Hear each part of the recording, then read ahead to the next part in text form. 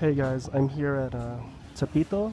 Um, it's known for a rough neighborhood in Mexico City, but it really isn't that rough. I mean, during the daytime, it's pretty safe.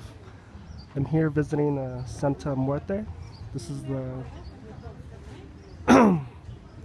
pretty much the Grim Reaper. This is where all the drug dealers and gangsters come worship and trying to repent their sins. Um, you know. So here in Tepito. Um, here's La Santa Muerte. This place is pretty crazy. Can't believe I'm here. Cute little doggy.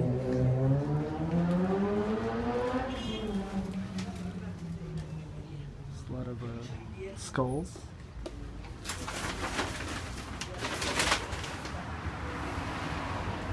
There's a Grim Reaper with a scythe.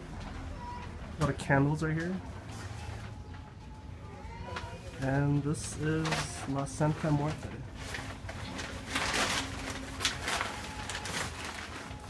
And someone came here this morning to uh, bring her flowers.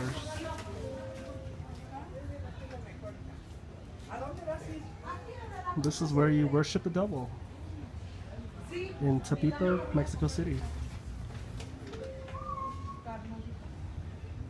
Very nice lady here.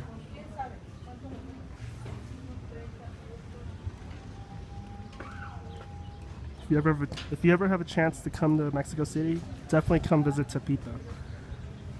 But only come here during the day. Don't come here at night.